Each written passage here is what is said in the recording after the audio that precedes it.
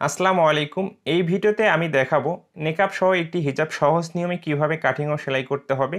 দুই হাত বহরের কাপড় দিয়ে যে কোনো সাইজের জন্য বা যে কোনো বয়সের মানুষের জন্য কার জন্য কতটুকু কাপড় নিতে হবে, প্রতিটি বিষয় সহজ করে ধাপে ধাপে বোঝানো হবে যেন আপনি সহজে বুঝতে পারেন এবং নেক্সট টাইম থেকে আপনি নিজেও যে কোনো সাইজের জন্য নেকাব সহ হিজাব কাটিং ও সেলাইটি করে নিতে পারেন। চলুন তাহলে কাটিং ও সেলাইটি করে দেখাই। হিজাবটি তৈরি করার জন্য এখানে দুই হাত বহরের একটি কাপড় নিয়েছি আর এখানে কাপড় নিয়েছি তিন গজ চার গিরা কাপড়।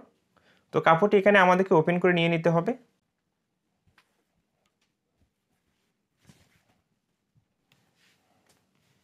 তো কাপড়টি এইভাবে ওপেন করে নেওয়ার পরে কাপড়টি এখানে একটি ডাবল ভাঁজ করা আছে। নেকাবের জন্য আমাদেরকে সর্বপ্রথম কাপড়টি বের করে নিতে হবে। নেকাবের জন্য আমাদের কতটুকু কাপড় নিতে হবে? এখানে সর্বনিম্ন আপনাকে বারো গিরা কাপড় নিতে হবে। বারো গিরার যদি আপনি কম কাপড় দিয়ে কি নেকাব তৈরি করতে চান তাহলে নেকআপটি কিন্তু ছোট হয়ে যাবে। এই জন্য আমাদেরকে বারো গিরা কাপড় নিতে হবে। এর বেশি আপনি নিতে পারেন কোনো সমস্যা নেই, কিন্তু বারো গিরার কম কাপড়টি নেওয়া যাবে না। তো এখান থেকে আমি বারো গিরা কাপড় বের করে নিচ্ছি। বারো গিরা কাপড় সাতাশ ইঞ্চি লম্বা হয়ে থাকে।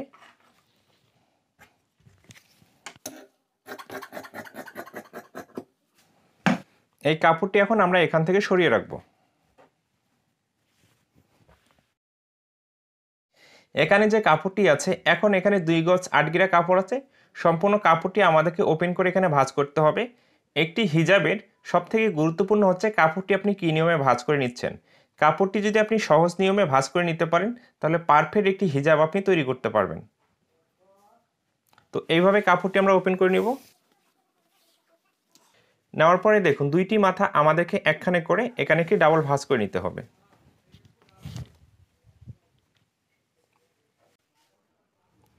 তো কাপড়টি এইভাবে কিন্তু আমাদেরকে একটি ডাবল ভাঁজ করে নিতে হবে। ভাঁজ করে নেওয়ার পরে আমি কাপড়টি আপনাকে ভালো করে দেখিয়ে দিচ্ছি। এই সাইডে এখানে খোলা সাইড আছে, আমি যেদিকে আছি, এদিকেও কিন্তু খোলা সাইড এবং সামনের দিকেও খোলা সাইড থাকবে এবং শুধু একটি সাইডে আটকানো সাইড থাকবে। এইভাবে কাপড়টিকে ডাবল ভাঁজ করে নেওয়ার পর এরপরে কিন্তু আমাদেরকে আড়াআড়ি করে ভাঁজ করে নিতে হবে। কাপড়টি আপনি এই দিক থেকে দেখুন, এইভাবেও আড়াআড়ি করে ভাঁজটি করে নিতে পারেন। কাপড়টিকে আপনি এইভাবে ভাঁজ করে নিতে পারেন। তো এদিকেও ভাঁজ করে যদি আপনার সুবিধা মনে না হয়, আবারও কাপড়টিকে ওপেন করে নেবেন। তাহলে আপনি এই দিক থেকে কাপড়টিকে ভাঁজ করে নেবেন।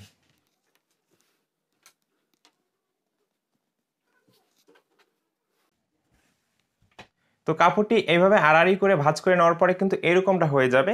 তো আপনি এই দিক থেকেও ভাঁজ করে নিতে পারেন এই দিক থেকেও ভাঁজ করে নিতে পারেন। যেদিকে আপনার সুবিধা মনে হবে সেই দিকে আপনি কাপড়টিকে ভাঁজ করে নিতে পারেন। তো ভাঁজ করে নেওয়ার পরে কাপড়টি কীরকম হবে সেই বিষয়টি আপনাকে আমি দেখিয়ে দিচ্ছি। তো কাপড়টি ভাঁজ করে নেওয়ার পরে নিচের এই অংশটি কিন্তু শর্ট থাকবে, এখানে জয়েন্ট পড়বে আমাদের এবং এই সাইডটি এখানে আটকানো থাকবে। এবং এখানে দুইটি পার্ট থাকবে এবং এই পার্ট দুটি এখানে খোলা থাকবে। তো এইভাবে আমাদেরকে কাপড়টি সুন্দর করে ভাঁজ করে নিতে হবে। একটি হিজাবের সবথেকে গুরুত্বপূর্ণ হচ্ছে কাপড়টি এভাবে ভাঁজ করে নেওয়া। এইভাবে যদি আপনি কাপড়টি ভাঁজ করে নিতে পারেন, তাহলে কাটিং করা আপনার কাছে অনেক ইজি মনে হবে। কাপড়টি এইভাবে সুন্দর করে ভাঁজ করে নেওয়ার পরে হিজাবটির লম্বা মাপটি আপনাকে নিয়ে নিতে হবে। লম্বা মাপটি আমরা কোথায় থেকে নিব? এখানে থেকে শুরু করে আপনাকে এদিকে লম্বা মাপটি নিতে হবে। এই জন্য ফিতাটি এখানে এইভাবে রাখতে হবে। এইভাবে ফিতাটি রেখে আপনার যত ইঞ্চি লম্বা নেওয়ার প্রয়োজন তত ইঞ্চিতে আপনাকে মার্জিন করতে হবে এবং মুড়িয়ে সেলাই দেওয়ার জন্য এক্সট্রা কাপড় নিতে হবে। তো এই হিজাবটি এখানে আমি চুয়াল্লিশ ইঞ্চি লম্বা তৈরি করব। তাই চুয়াল্লিশ ইঞ্চিতে মার্জিন করব এবং মুড়িয়ে সেলাই দেওয়ার জন্য এখানে সর্বোচ্চ আপনি এক ইঞ্চি এক্সট্রা কাপড় নিতে পারেন। এর বেশি এখানে নেওয়ার প্রয়োজন নেই। তো এক ইঞ্চিতে আমি মার্জিন করতেছি। মানে সর্বমোট কাপড়টি এখানে পঁয়তাল্লিশ ইঞ্চি নিচ্ছি, হিজাবটি এখানে চুয়াল্লিশ ইঞ্চি লম্বা তৈরি হবে। এইভাবে মার্জিনটি করে নেওয়ার পরে সম্পূর্ণ কাপড়টি এখন আমাদেরকে রাউন্ড করে মার্জিন করে নিতে হবে। তো এই জন্য আপনি এইভাবে ফিতেটি রাখবেন এবং এইভাবে মার্জিনটি করে নেবেন।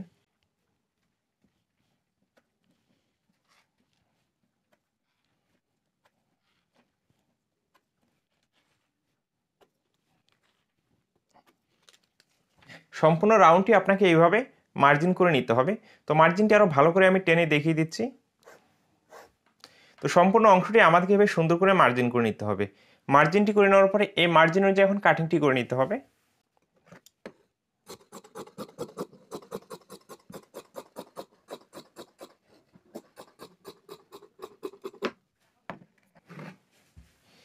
এইভাবে কাটিংটি করে নেওয়ার পরে এখানে যে অবশিষ্ট কাপড় আছে, এই কাপড়টিতে আমাদেরকে যে কাজটি করতে হবে, যখন আপনি দুই হাত বহরের কাপড় দিয়ে একটি হিজাব তৈরি করতে যাবেন, অবশ্যই কিন্তু সেই হিজাবটিতে জয়েন পড়বে। আড়াই হাত বা তিন হাত বহরের কাপড় দিয়ে যদি আপনি একটি হিজাব তৈরি করেন, তাহলে কিন্তু সেই জয়েন্টটি পড়বে না। দুই হাত বহরের কাপড় দিয়ে যখন একটি হিজাব তৈরি করবেন, এখানে অবশ্যই আপনার জয়েন্ট পড়বে। এই জয়েন্টটি আমাদেরকে এই কাপড়টি দিয়ে দিতে হবে। এই কাপড়টি আমরা এইদিকে এইভাবে রাখব। তো এখানে কিন্তু আমাদের সেলাই মার্জিনের জন্য কাপড় রাখতে হবে এইভাবে। এবং এই দুইটি পার্ট জয়েন দেওয়ার জন্য এখানে হাফ ইঞ্চি কাপড় এইভাবে আমরা রাখব।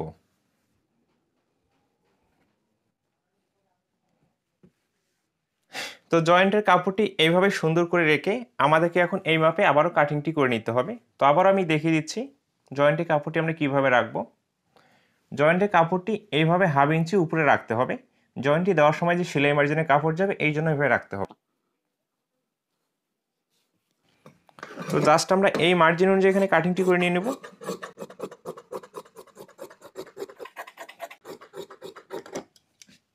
তো এইভাবে জয়েন্টের কাপড়টি কাটিং করে নেওয়ার পরে এখানে আমাদের মুখের মাপটি নিতে হবে এবং মাঝখানে এখানে কেটে চিহ্ন দিয়ে নিতে হবে। তো আমি খুব সহজ করে বোঝানোর চেষ্টা করি যেন আপনি বিষয়টি বুঝতে পারেন।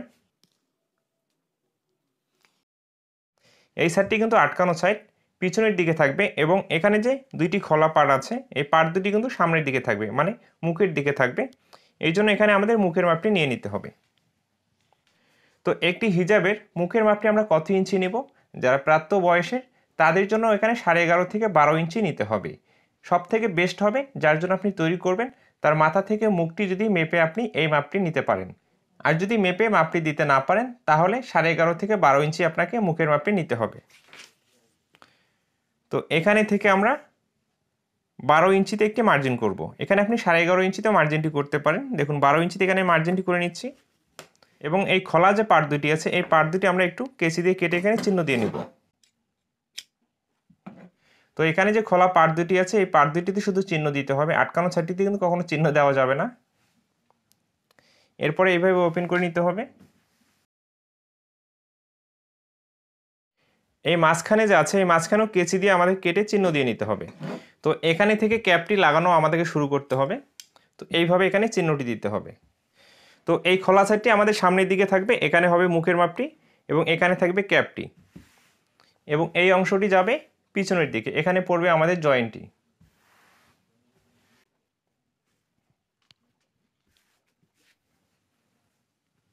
এই অবস্থায় কিন্তু হিজাবে ঘেরের অংশটি কাটিং করা আমাদের কমপ্লিট হয়ে গেছে। এখন ক্যাপটি কাটিং করতে হবে এবং নেকাবের জন্য মুখোশটি কাটিং করতে হবে। চলুন তাহলে আমরা সেই পার্ট দুইটিও কাটিং দেখি সহজ নিয়মে। তো এখানে যে টুকরো কাপড়টি নিয়েছি, এই কাপড়টিতে আমরা ক্যাপটি কাটিং করব। কাপড়টি এখানে একটি ডাবল ভাজ আছে। তো এদিকে আরও একটি ভাজ করে নিতে হবে। তো ক্যাপের যে পাশের মাপটি আমরা পাশে কত ইঞ্চি নিব? তো পাশে এখানে আপনি সর্বোচ্চ সাড়ে তিন ইঞ্চি নিতে পারেন। কত ইঞ্চি? সর্বোচ্চ সাড়ে তিন ইঞ্চি। এর কম আপনি তিন ইঞ্চিও নিতে পারেন, এতে কোনো সমস্যা নেই। কিন্তু সাড়ে তিন ইঞ্চির বেশি নিলে ক্যাপটি সামনের দিকে একেবারেই চলে আসবে। তো এখানে আমি সাড়ে তিন ইঞ্চি নিচ্ছি এবং সেলাই মারির জন্য এক্সট্রা কাপড় নিয়ে নিচ্ছি।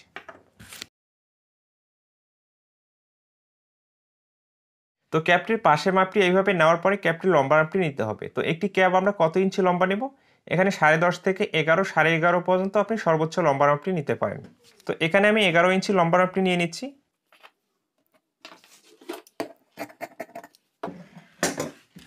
এরপরে এই কাপড়টিকে এদিকে আরও একটি ভাঁজ করতে হবে। এইভাবে ভাঁজটি করে নেওয়ার পরে এখানে থেকে আমাদেরকে সুন্দর করে রাউন্ড শেপ করে নিতে হবে। তো এইভাবে সুন্দর করে মার্জিনটি করে এখানে কাটিংটি করে নিতে হবে।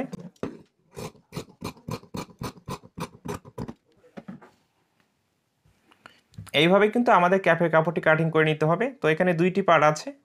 তো কাপড়টি এইভাবে ডাবল ভাঁজ হয়ে থাকবে এবং মাঝখানে এখানে কেচি দিয়ে কেটে চিহ্ন দিয়ে নিতে হবে। সেলাই করার সুবিধার জন্য। তো ক্যাপের পার্টিও এখন আমরা এখান থেকে সরিয়ে রাখব। তো আমরা নেকআপটি তৈরি করার জন্য কতটুকু কাপড় রেখেছি? বারো গিরা কাপড় রেখেছি, তাই না? তো এই কাপড়টি আমাদেরকে একটি ডাবল ভাঁজ করে নিতে হবে। তো নেকআপটির পাশের মাপটি আমরা কত ইঞ্চি নেব? তো একটি নেকআপের পাশের মাপটি এখানে আপনি ছাব্বিশ থেকে সাতাশ ইঞ্চি পর্যন্ত নিতে পারেন। তো এখানে আমি সাতাশ ইঞ্চি নিয়ে নিচ্ছি কাপড়টি পাশে। এবং সাইডের যে এক্সট্রা কাপড়টি আছে, এটা আমি কাটিং করে নিয়ে নিচ্ছি। এরপরে নেকআপটির লম্বা মাপটি নিতে হবে। লম্বা মাপটি এটা আপনার রুচি অনুযায়ী নিতে পারেন, নাহলে কাস্টমারের রুচি অনুযায়ী নিতে পারেন। তো আমি আপনাকে পরামর্শ দিব, একটি নেকআপের লম্বার মাপ আপনি পঁচিশ ইঞ্চি পর্যন্ত নিতে পারেন, এটা সব থেকে বেস্ট হবে, এর থেকে বেশি নিতে পারেন, এর থেকে কম নিলে খুব একটি ভালো লাগবে না। তো এই নেকআপটি এখানে আমি পঁচিশ ইঞ্চি লম্বা নেব। এবং সেলাই মার্জিনের জন্য, দুই সাইডের জন্য আমি দেড় ইঞ্চি এক্সট্রা কাপড় নিয়ে নিচ্ছি।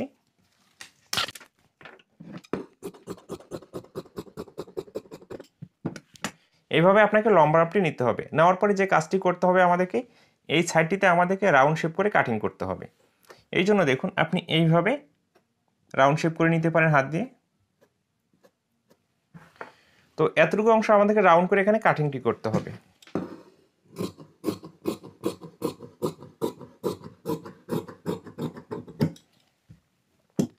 তো এইভাবে আমাদেরকে নেকআপটি কাটিং করতে হবে। তো এই অবস্থায় কিন্তু নেকআপটিও আমাদের কাটিং করা কমপ্লিট হয়ে গেছে। এই অবস্থায় হিজাবটি কাটিং করা কমপ্লিট হয়ে গেছে। নেকআপ সহ একটি হিজাব। সহজ নিয়মে কীভাবে কাটিং করতে হবে? আশা করি এই ভিডিও থেকে আপনি বুঝতে পেরেছেন। এবং এই মাপের জন্য যদি আপনি নেকআপ সহ একটি হিজাব তৈরি করতে চান আমি কিন্তু এখানে তিন গজ চার গিরা কাপড় নিয়েছি। আপনি যে কাজটি করবেন, তিন গজ আট গিরা কাপড় নেবেন। আপনার জন্য এইটাই বেস্ট হবে। তো চলুন, এই হিজাবটি সহজ নিয়মে কীভাবে সেলাই করতে হবে, আপনাকে আমি বুঝিয়ে দিচ্ছি। তো সেলাই করার জন্য ঘেরের পার্টটি এখানে আমরা নিয়ে নিয়েছি। তো ঘেরের পার্টের সর্বপ্রথম আমরা জয়েন্টটি দিয়ে নেব। তো এখানে যে পার্টটি আছে আমি দেখিয়ে দিচ্ছি। তো পার্টটি আমরা যে কোনো একটি সাইডে সরিয়ে রাখব। ঘেরের পার্টির যে আমরা জয়েন্টের জন্য কাপড়টি কাটিং করেছি, সেই কাপড়টি কিন্তু আমাদের একটি জয়েন্ট দিতে হবে। তো এইভাবে সিলাইটি দিয়ে জয়েন্টটি দিয়ে নিতে হবে। এরপরে এই পার্টটিকে এইভাবে ওপেন করে নিতে হবে এবং এই সিলাইটি আঙ্গুল দিয়ে চাপ দিয়ে ফাটিয়ে দিতে হবে। তো এরপরে আমাদের যে কাজটি করতে হবে, মূল পার্টটি নিয়ে নিতে হবে ঘেরের। তো এখানে একটু কেচি দিয়ে কেটে চিহ্ন দিয়ে নিতে হবে। এবং পার্টটিকে একেবারে এভাবে ওপেন করে রাখতে হবে। রেখে আমরা এখানে মাঝখানে যে চিহ্ন দিয়েছি এবং এই জয়েনের যে পার্টটির যে মাঝখানে জয়েন্টটি দিয়েছি, এভাবে মিল করে রেখে এই মাথা থেকে বরাবর এখানে সেলাই দিয়ে আমাদেরকে জয়েন্টটি দিয়ে নিতে হবে। এক ফিট মার্জিনটিকে বরাবর এই সেলাইটি দিয়ে দিতে হবে। তো এতটুকু সেলাই দেওয়া কমপ্লিট হয়ে গেলে এই সেলাইটির উপরে এখানে একটি চাপ সেলাই দিয়ে নিতে হবে। তো চাপ সেলাইটি আপনি যে কোনো একটি সাইডে দিয়ে দিতে পারেন, এতে কোনো সমস্যা নেই। বরাবর এইভাবে কাজ ঘেসে চাপ সেলাইটি আমাদেরকে দিয়ে দিতে হবে। এই অবস্থায় চাপসিলাইটি দেওয়া কমপ্লিট হয়ে গেছে। তো দেখুন কত সুন্দর হয়েছে জয়েন্টটি, তাই না? তো এইভাবে আমাদের নিচের ঘেরে অংশটি জয়েন্টটি দিয়ে নিতে হবে। এরপরে এখানে মুখের মাপের জন্য এবং মাঝখানে ক্যাপটি লাগানোর জন্য যে চিহ্ন দিয়েছি এবার ঠিক মাঝখানের ক্যাপ লাগানোর চিহ্ন থেকে কাপড়টিকে ভাঁজ করে নিতে হবে। তো এর আগে এখানে ক্যাপটি আমাদেরকে তৈরি করতে হবে। তো যে খোলা সাইডটি আছে সেই দিকে এইভাবে একটি সেলাই দিয়ে নিতে হবে। আরেকটি সাইড কিন্তু আটকানো সাইড আছে, তো এইভাবেই ক্যাপটি আমাদেরকে তৈরি করে নিতে হবে এবং মাঝখানে যে চিহ্ন আছে এবং মূল পার্টটি এখানে নিয়ে নিতে হবে। এই পার্টটিকে এই মাঝখানের যে চিহ্ন আছে এখান থেকে কিন্তু ক্যাপটি লাগানো আমাদেরকে শুরু করতে হবে। একেবারে এইভাবে পার্টটিকে ওপেন করে রাখতে হবে। তো এখানে মুখের মাপের এবং এখানে ক্যাপের যে মাঝখানের চিহ্ন এবং নিচে আরেকটি চিহ্ন আছে এটা মুখের মাপের জন্য। তো এই মাঝখানের চিহ্নের সাথে এই ক্যাপটির যে মাঝখানের চিহ্ন আছে এইভাবে মিল করে দেখুন এইভাবে মিল করে বসিয়ে এদিক সুন্দর করে এইভাবে মিল করে নিতে হবে। নিয়ে এখানে থেকে সিলেটি শুরু করতে হবে। তো এইভাবে সুন্দর করে মিল করে সিলাইটি শুরু করতে হবে। ক্যাপটি এইভাবে বসিয়ে সিলাইটি দিয়ে এখানে আমাদেরকে জয়েন্টটি দিয়ে নিতে হবে। তো আশা করি ক্যাপটি কীভাবে বসিয়ে সিলাইটি দিয়ে নিতে হবে আপনি বুঝতে পেরেছেন। এতটুকু সেলাই দেওয়া কমপ্লিট হয়ে গেলে এরকমটা কিন্তু হয়ে যাবে। তো এরপরে আমরা যে নিয়মটি ফলো করব এখানে ক্যাপটি সেট করে নেওয়ার পরে আমরা যে কাজটি করব, এইভাবে একটি ভাঁজ করে নেব। ঠিক মাঝখানে থেকে এবং মুখের মাপ নিয়ে যে আমরা চিহ্ন দিয়ে নিয়েছি, সেই চিহ্ন দুটি এভাবে মিল করে রাখতে হবে। তো কাপড়টির ভাঁজটি আপনি বুঝতে না পারলে আবারও আপনাকে আমি সুন্দর করে ভাঁজ করে দেখিয়ে দিচ্ছি। ক্যাপটি লাগানোর পরে ভালো সাইডটা এইভাবে উপরের দিকে রাখতে হবে। তো এইভাবে রাখতে হবে। রেখে এই পার্টটিকে এদিকে নিয়ে আসতে হবে। তো ক্যাপের যে মাঝখানের চিহ্ন, সেই চিহ্নটি মিল করে এবং আমরা মুখের যে মাপটি নিয়েছি, মাপটি নেওয়ার সময় কেচি দিয়ে কেটে চিহ্ন দিয়ে নিয়েছি। সেই চিহ্নভাবে মিল করে বরাবর এই মাথা থেকে বরাবর সিলাইটি আমাদেরকে দিয়ে দিতে হবে। তো এতটুকু সিলাই দিয়ে নেওয়ার পর এখানে কিন্তু আমাদেরকে একটি হ্যাম সেলাই বা চাপ সেলাই দিতে হবে, যেখান থেকে মুখের মাপটি নিয়েছি। এই জন্য হিজাবটি একেবারে ওপেন করে নিয়ে এইভাবে আমরা ভিতরের দিকে নিয়ে নেব মেশিনের। এবং মুখের যে মাপটি নিয়েছি, এখানে থেকে দুই সাইডে আমাদেরকে চাপ সেলাইটি দিতে হবে। এখান থেকে সেলাইটি ধরতে হবে। বরাবর আমরা ক্যাপটি লাগানোর সময় যে সিলাইটি দিয়েছি, সেই সিলাইটির উপর দিয়ে এখানে একটি চাপ সেলাই দিয়ে নিতে হবে। তো এই মাথা থেকে এই মাথা পর্যন্ত বরাবর কিন্তু আমাদেরকে সিলাইটি দিতে হবে। তো আশা করি এই চাপ সেলাইটি কী নিয়মেই দিতে হবে আপনি বুঝতে পেরেছেন। তো এখানে আসলে একটু সুন্দর করে ঘুরে এখানে ভালো করে বান দিয়ে দিতে হবে যেন সেলাইটি কখনো খুলে না যায়। তো আবার এই কাপড়টিকে বের করে নিতে হবে। বের করে নেওয়ার পর এখানে মুখের মাপ এবং ক্যাপটি সেট করা কিন্তু আমাদের একেবারে কমপ্লিট হয়ে গেছে। দেখুন, এখানে অনেক সুন্দর ফিনিশিং হয়েছে, তাই না? তো এরপরে আমাদেরকে নিচের ঘেরে অংশটি সেলাই করতে হবে। তো নিচের ঘেরে অংশটি সেলাই করার যে নিয়ম হচ্ছে, এখানে একটি ভাঁজ করতে হবে। তারপর এখানে আরও একটি ভাঁজ করতে হবে। এবার দুইটি ভাঁজ করে এখানে আমাদেরকে একটি হ্যাম সেলাই দিতে হবে। তো কাপড়টি দুইবারে ভাঁজ করে এইভাবে যদি একেবারে সিলাইটি দিতে না পারেন ফার্স্ট টাইমে একটি সিলাই দিয়ে নেবেন, পরবর্তীতে আরও একটি সিলাই দিয়ে নেবেন। তো এইভাবে আপনাকে হ্যাম সিলাইটি দিয়ে নিতে হবে। তো এই অবস্থায় আমাদের হ্যাম সিলাইটি দেওয়া কমপ্লিট হয়ে গেছে। তো এইভাবেই কিন্তু নিচের অংশটি আমাদেরকে সেলাই করে নিতে হবে। তো নর্মালভাবে যে হিজাবগুলো তৈরি করি, এই অবস্থায় কিন্তু সেই হিজাবটি আমাদের তৈরি করা কমপ্লিট হয়ে গেছে। এখন নেকআপটি আমাদেরকে তৈরি করতে হবে। নেকআপটি তৈরি করার জন্য যে কাপড়টি আমরা কাটিং করে নিয়েছি, এই মাথায় আমাদেরকে দুইটি ভাঁজ করে এখানে সেলাই দিতে হবে। ফার্স্ট টাইমে একটি ভাঁজ করব, এরপর এখানে আরও একটি ভাঁজ করব। দুইটি ভাঁজ করে বরাবর এই সেলাইটি দিতে হবে। এই ভাঁজটি কিন্তু একটু চওড়া করে দিতে হবে। এখানে আমি এক ইঞ্চি পরিমাণ দিয়েছি এবং এখানে কিন্তু আপনি কয়েকটি সেলাই দিয়ে নিতে পারেন। তো আমার রুচি অনুযায়ী আমি তিন চারটি সেলাই দিয়ে নিচ্ছি। তো এইভাবে আমাদেরকে উপরের অংশটি সেলাই করে নিতে হবে। উপরের অংশটি এইভাবে সেলাই করা হয়ে গেলে সাইডে আমাদেরকে এখানে হ্যাম সেলাই দিয়ে নিতে হবে। তো এখানে কিন্তু একেবারে এই হ্যাম সেলাইটি আপনি দিতে পারবেন না। ফার্স্ট টাইমে এইভাবে একটি সেলাই দিয়ে নেবেন নর্মালিভাবে তো এইভাবে একটি সেলাই দেওয়া কমপ্লিট হয়ে গেলে এখানে আরও একটি সেলাই দিয়ে নিতে হবে। মানে এইভাবে দুইটি সেলাই দিয়ে আমাদেরকে এখানে হ্যামটি দিতে হবে। তো একটি সেলাই দেওয়া আমার কমপ্লিট হয়ে গেছে। এখানে আরও একটি সেলাই দিয়ে নিচ্ছি।